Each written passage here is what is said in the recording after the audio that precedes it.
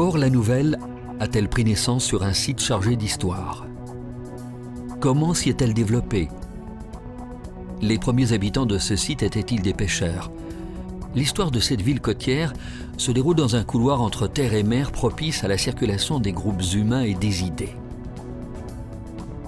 Port-la-Nouvelle fut d'abord un gros cerné de zones marécageuses.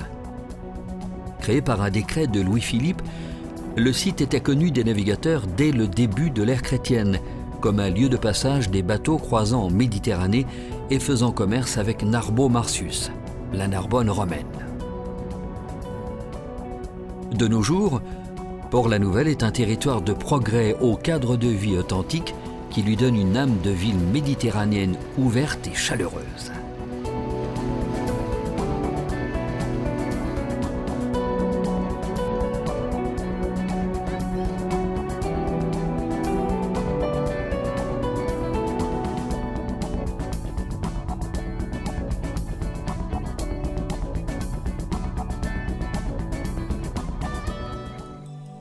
L'histoire de Port-la-Nouvelle commence au XIVe siècle. Après les grandes inondations qui ont ravagé Narbonne, le trafic maritime se déplace vers les étangs. Une nouvelle voie est ouverte, Portus Nouel, un simple passage pour les navires qui cherchaient à rejoindre les ports situés dans les étangs du Narbonnais. Avant d'être un hameau ou une commune, la Nouvelle était un port le village s'est bâti sur la rive droite du Chenal, sur un étang colmaté à l'aide du lest des bateaux puis des produits du dragage. Le canalet, situé à l'entrée de la ville, sera utilisé jusqu'en 1820, chaque fois qu'une amélioration du port nécessitera le transport de pierres.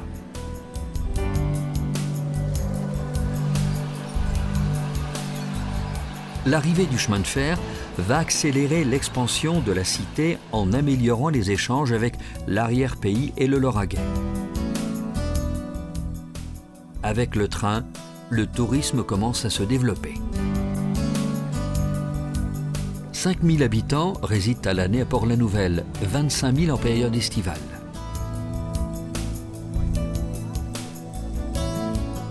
En été, la ville offre une capacité d'accueil de 20 000 lits, répartis entre les campings, un village de vacances, des structures meublées et des hôtels.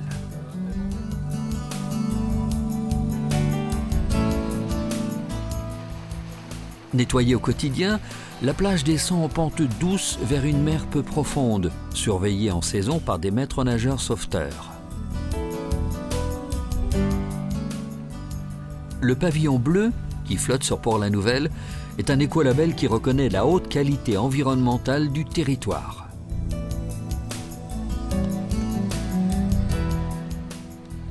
Des aires de jeu et d'animation et des espaces où l'on peut pratiquer la planche à voile, le volet ou la promenade à cheval s'offrent au public. Avec 250 jours d'ensoleillement par an, 13 km de plage de sable fin, des sites protégés, la garrigue, les étangs et le canal de la Robine, Port-la-Nouvelle est une station balnéaire hors du commun où tous les charmes de la Méditerranée s'y déclinent.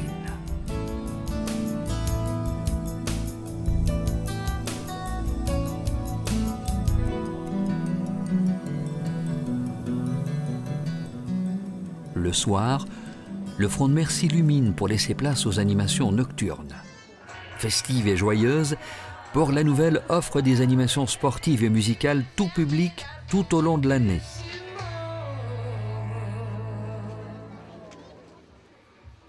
Récemment ouvert, le casino de Port-la-Nouvelle se dresse comme une sentinelle face à la mer.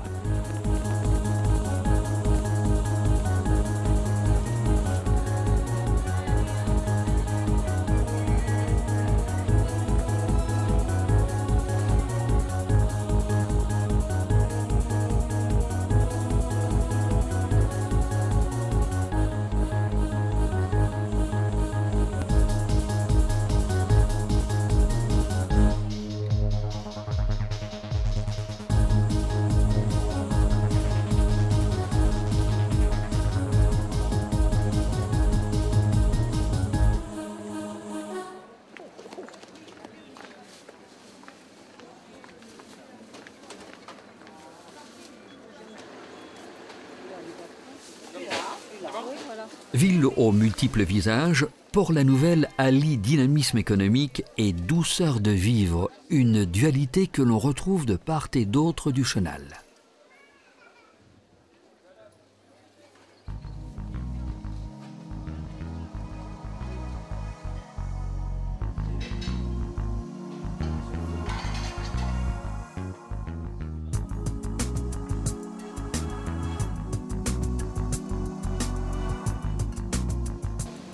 Site industrielo-portuaire au nord, espace résidentiel et front de mer au sud.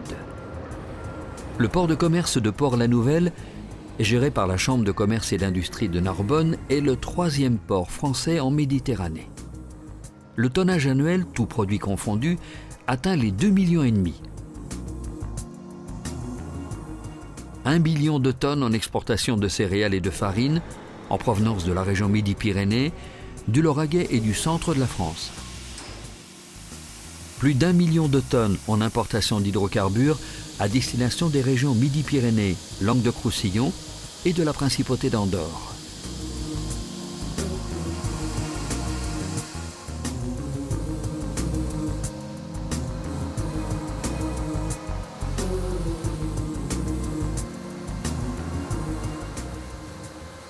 Les navires accueillis dans le port peuvent atteindre 140 mètres de long, 8 mètres de tirant d'eau et plus de 220 mètres aussi line.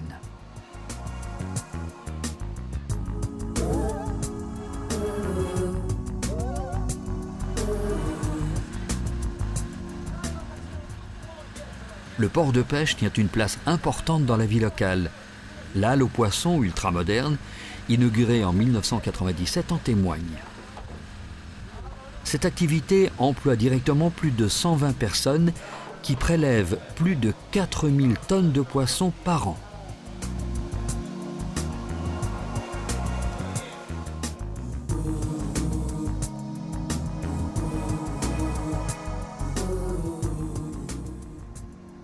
Le port de Plaisance et ses annexes contiennent 250 emplacements pour des navires allant jusqu'à 4 mètres de tirant d'eau.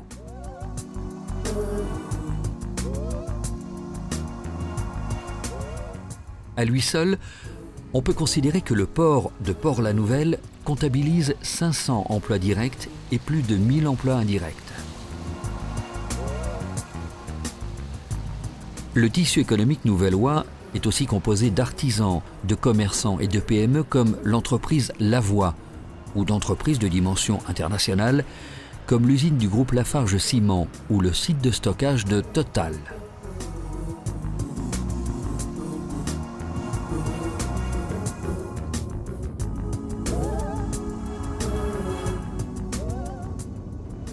La pêche dans les étangs existe depuis l'Antiquité.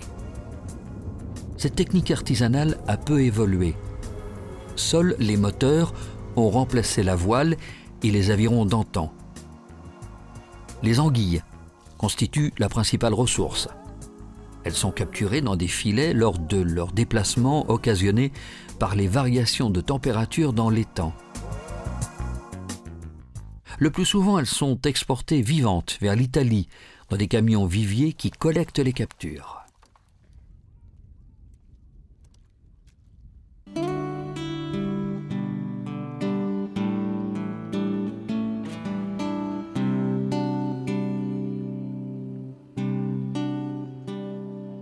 Les amateurs locaux pêchent le loup et la dorade depuis les berges du Chenal l'endroit est privilégié pour observer les mulets lorsqu'ils sautent et retombent à plat sur l'eau pour se débarrasser de leurs parasites. La production de sel a longtemps été une activité présente sur Port-la-Nouvelle. Elle consiste à mouvementer de l'eau de mer sur de grandes superficies pour en augmenter progressivement la concentration jusqu'à déposer le sel par évaporation naturelle sous l'action du soleil et du vent. Le vent fait ici le bonheur des amateurs de planches à voile. Son énergie est exploitée par des fermes éoliennes, celle de Port-la-Nouvelle, pionnière en matière d'énergie propre et renouvelable, fut la première implantée en France en 1993. En matière d'environnement, la ville a toujours su préserver son patrimoine d'exception.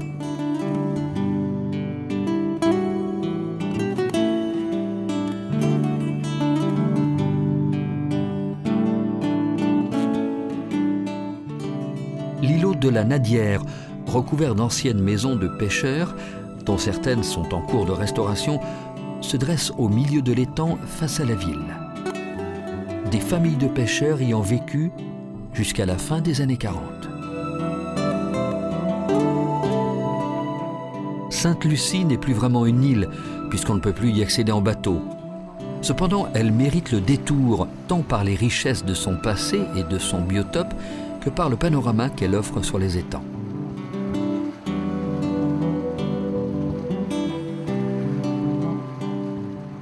La végétation qu'on y découvre est typiquement méditerranéenne.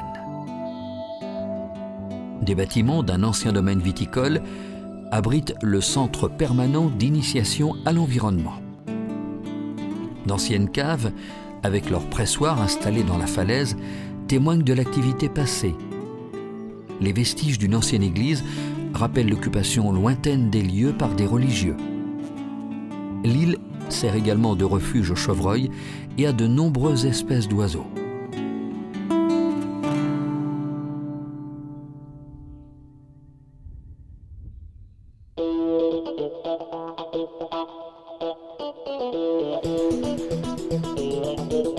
Riante et pittoresque, Port-la-Nouvelle est une ville authentique qui est le rendez-vous de la festivité et du plaisir de vivre.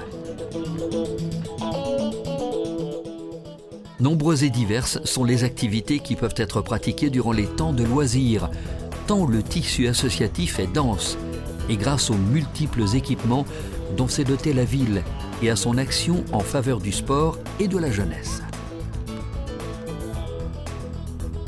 bien ancré sur la route d'Espagne, relié à son arrière-pays par des voies de communication modernes, Port-la-Nouvelle jouit d'une position géographique stratégique.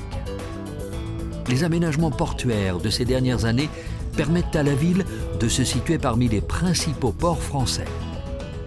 Aujourd'hui, Port-la-Nouvelle a su protéger les traditions ancestrales qui font son attrait touristique mais elle n'en a pas pour autant oublié de choisir son avenir en répondant aux besoins de sa population et en donnant une impulsion à son défi économique.